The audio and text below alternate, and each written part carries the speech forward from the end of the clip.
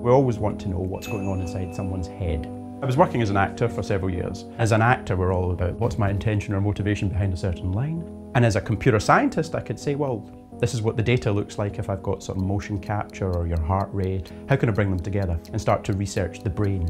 When we're trying to study human behaviour, we want to be scientific about it, so laboratory conditions. But real world social interactions and the things we do every day, they don't retain their truthfulness, if you like, once you're in a laboratory situation. We become rather stilted and it's very artificial. That's where wearable computing really comes into it, because the key component of wearable computing is this idea of using sensors, so this close proximity, to detect context. Theatre is a fixed location, it's got a, a set of scenarios set up, and it's repeated again and again and again.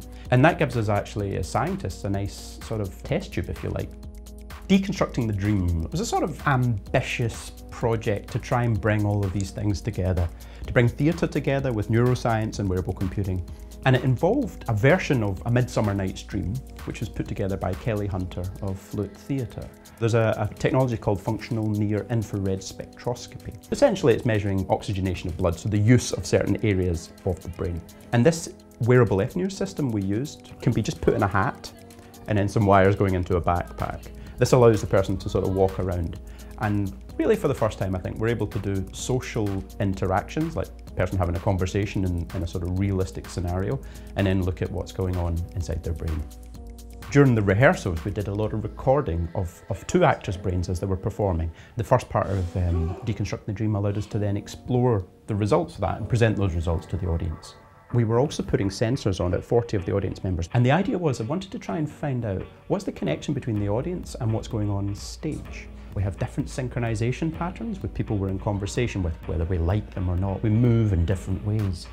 And I wanted to, if we could record this data live from the audience, we could get ideas of which bits of the performance we enjoyed more or less, or we're getting or not getting.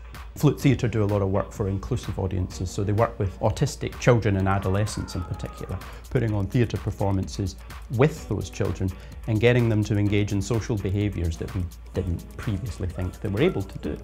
One of the assumptions with autism was that there's a slight failure for people to synchronise with others. These non-verbal interactions, movement of the head and so forth don't happen to the same degree.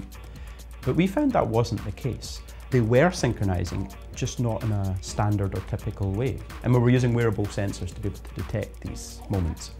The research with wearables and the brain is really only just beginning. There's a lot more we can do. A major component of my work will be to take these wearable sensors and take them into schools for autism and see if we can use wearable sensing as communicative tools